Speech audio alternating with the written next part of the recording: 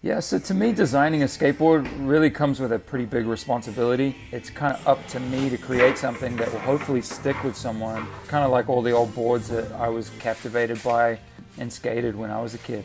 Teaming up with Creature and Cowtown for this really was just a no brainer. I jumped at the chance and was kind of honored that they asked me to do it. Stylistically, I figured incorporating some of the barren Arizona landscape would be the best move. I also wanted to just have fun with the, the design, fun with the skull and cactus, and kind of give a nod to, to Jim Phillips and all the old early skate graphics that really just captivated me from a real early age. Seeing someone skate a board that I designed is a huge honor and probably one of the coolest things I think I can do with my art.